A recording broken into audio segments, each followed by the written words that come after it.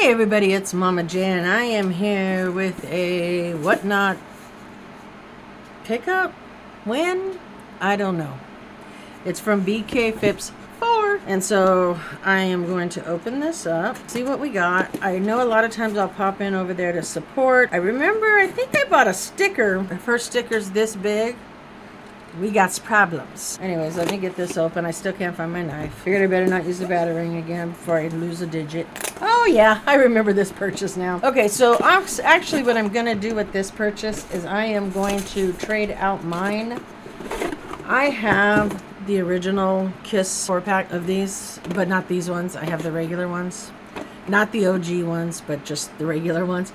These were the glow-in-the-dark Funko exclusive ones. I didn't go after them when they were released. I decided, you know what, even if I don't get everybody, let me at least get, you know, obviously the spaceman, you know, over here, which is Ace Frehley, who we see all the time because he opens for Alice Cooper a lot with Frehley's Comet.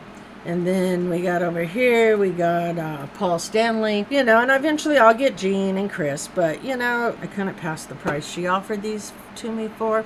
So if you're not following her on whatnot, please go do so. I will link her down below. Right here is her and I don't know, the dude in the sunglasses. Who is that?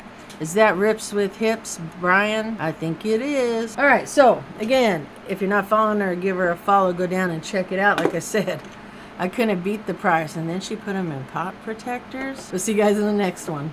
Stick around. Check out my Patreons. They get something every month.